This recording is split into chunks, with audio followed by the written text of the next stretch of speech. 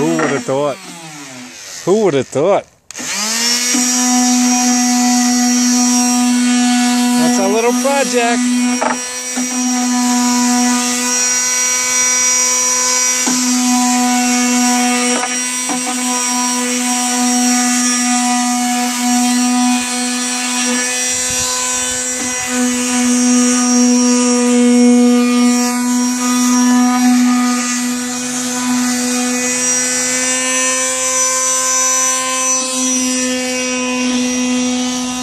Honey, you want to say hello?